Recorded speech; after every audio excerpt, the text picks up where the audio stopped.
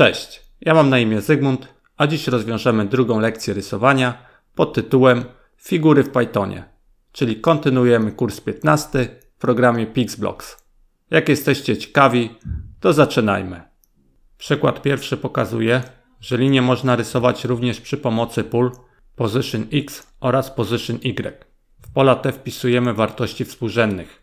Jeżeli ustalamy nowy Y, to przesuwamy się wzdłuż osi Y. I tak samo jest z X. W zadaniu pierwszym narysuj schody poprzez zmianę współrzędnych X oraz Y. Najpierw podnosimy pisak, następnie zmieniamy pozycję X i Y w lewy dolny róg, opuszczamy pisak. Samo rysowanie robimy w pętli for in range 20, bo jest 20 schodków.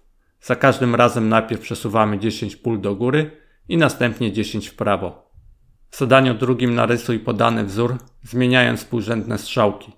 Początek robimy tak samo jak w poprzednim zadaniu, przemieszczając się w lewy dolny róg. Rysowanie realizujemy w pętli for in range 10, bo mamy 10 linii pionowych. Najpierw przesuwamy się w prawo o 10, później sprawdzamy, czy nie ma reszty zdzielenia przez 2. To nam daje informację, czy jesteśmy u góry, czy na dole. I odpowiednio się przesuwamy góra lub dół o 75 jednostek. Na koniec jeszcze raz potrzebujemy przesunąć się o 10 pól. W zadaniu trzecim wykorzystaj współrzędne x i y, aby narysować piramidę zbudowaną z prostokątów. Najpierw znów przynosimy się w lewy dolny róg.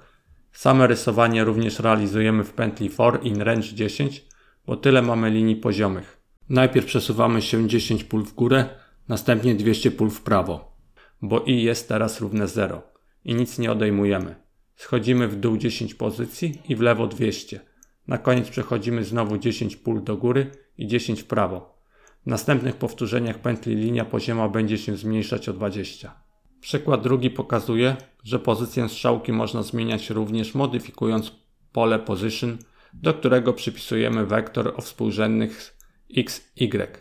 To pozwala nam wpisać dwie współrzędne od razu. W zadaniu czwartym mamy narysować wielkiego plusa. Żeby się przemieścić, najpierw podnosimy pisak. Przed rysowaniem opuszczamy pisak, rysujemy i tak z dwiema liniami robimy.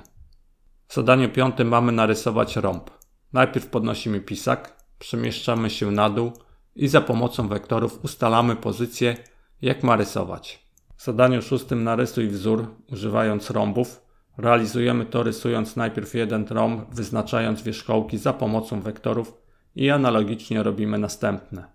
W przykładzie trzecim mamy pokazane, jak powstaje trójkąt równoboczny który realizujemy w pętli zmieniając kąt o 120 stopni.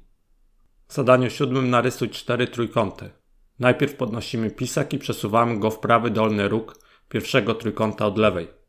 Rysowanie realizujemy w pętli for in range 4, bo cztery trójkąty rysujemy. Wewnątrz opuszczamy pisak i fem przez sprawdzenie reszty dzielenia przez 2 ustalamy jaki kolor będziemy używać.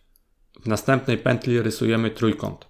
Na koniec podnosimy pisak i przesuwamy się 50 jednostek w prawo. W następnych powtórzeniach głównej pętli rysujemy pozostałe trójkąty. W zadaniu ósmym narysuj sześciokąt. Realizujemy to w pętli for in range 6, bo 6 będzie boków. Wewnątrz zmieniamy kąt o 60 stopni i przesuwamy o 50 jednostek. W zadaniu dziewiątym mamy narysować kolce. Najpierw przesuwamy się rysując w prawo, później wracamy do lewego boku pętli for in range ustalamy zakres, czyli pozycję x wierzchołków naszych kolców od minus 95 do 95. Tu musimy pamiętać, żeby domknąć przedział dodajemy 1. Następna cyfra 10 oznacza, że nasze i o tyle będzie się zmieniać co powtórzenie. Pierwszy wektor rysuje nam do wierzchołka, a drugi do dołu. W przykładzie czwartym mamy prosty sposób, w jaki jesteśmy w stanie narysować okrąg. To jest powtórzenie z poprzedniej lekcji. Zmieniamy wewnątrz pętli kąt o 10 i przesuwamy o 4 jednostki. W zadaniu 10 mamy narysować dwa razy większy okrąg. Zadanie podobne do przykładu. Zwiększamy tylko linię kresek razy 2. W zadaniu 11 mamy narysować dwa koła. W pierwszym zwiększamy kąt o 10, a w drugim kole zmniejszamy o 10. W każdym przesuwamy o 10 jednostek. W zadaniu 12 mamy narysować płot. Kąt wewnątrz szczytu wynosi 60 stopni. Najpierw podnosimy pisak, przesuwamy się w lewy dolny róg, opuszczamy pisak, Płot rysujemy w pętli for i in range 10. Ustawiamy kąt na 90 stopni. Przesuwamy o 150 jednostek. Zmieniamy kąt na 60. Przesuwamy 20 jednostek. Zmieniamy kąt na minus 60 stopni. Przesuwamy 20 jednostek. Ustawiamy kąt na minus 90 stopni. Przesuwamy o 150 jednostek. I to wszystko się wykona 10 razy. W przykładzie piątym mamy program, który rysuje wiele kwadratów. Najpierw mamy funkcję, która jest wywoływana ze zmienną n, gdzie jest ustalona długość boku. Niżej mamy zdefiniowane zmienne, które ustalają pozycję x i y wektoru oraz wielkość naszego boku. Wewnątrz pętli podnosimy pisak, przesuwamy na odpowiednią pozycję za pomocą wektoru, następnie zmniejszamy tą pozycję o 10. Poniżej wywołujemy naszą funkcję jako parametr podając naszą zmienną size. Po narysowaniu zmniejszamy naszą zmienną size o 20 i podnosimy pisak. Nasza pętla wykona się 5 razy, rysując 5 zmniejszających się kwadratów. W zadaniu 13 mamy narysować zmniejszającego się ślimaka. Realizujemy to za pomocą dwóch zagnieżdżonych pętli. Wewnątrz pętla rysuje nam zawsze dwa boki, bo to jest element powtarzalny. Główna pętla ma ustalony zakres od 10 do 200 i że ten zakres co wykonanie pętli zwiększa się o 10. W zadaniu 14 stwórz rysunek wykorzystujący kwadraty. Zakres pętli ustalamy od 10 do 100. Pamiętamy, żeby zawsze zakres domknąć i zwiększyć o 1 oraz że nasze i będzie się zwiększać o 10 co wykonanie. Podnosimy pisak, następnie sprawdzamy czy i ma resztę dzielenia przez 20. Zależnie od wyniku ustawiamy pisak w odpowiednim miejscu.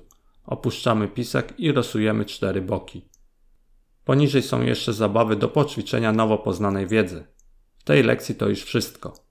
Jeżeli się podobało, daj łapkę w górę i zasubskrybuj kanał, jeżeli tego nie zrobiłeś wcześniej. To też będzie wspierać moją twórczość w internecie. Do zobaczenia. Cześć.